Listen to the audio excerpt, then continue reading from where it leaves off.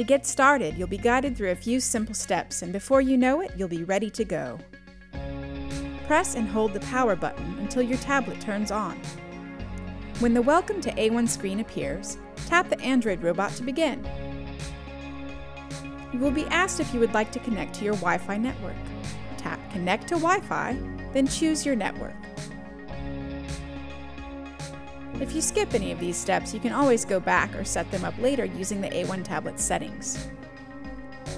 Now, type your password and tap Connect. Once it's connected, tap Next. You will be prompted to set up your Google account. If you already have a Google account, simply sign in using your username and password.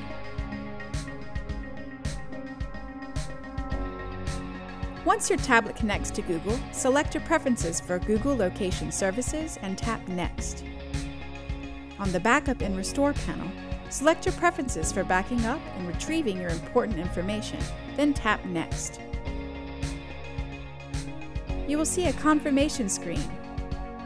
Tap Finish Setup and choose your preferences for date and time. We recommend tapping Automatic.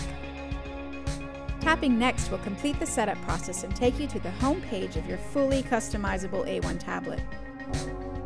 Now that you're ready for on the go entertainment, you can have some fun or get a little work done. Whatever you do, take your ideas and your A1 tablet with you.